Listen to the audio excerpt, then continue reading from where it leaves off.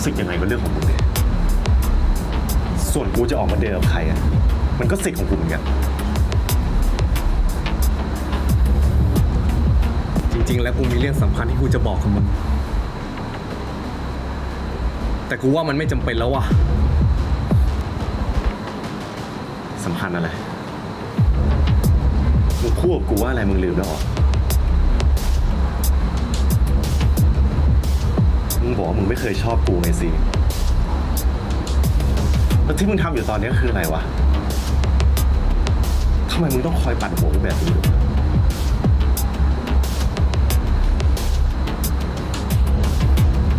ด้สนุกมากอะ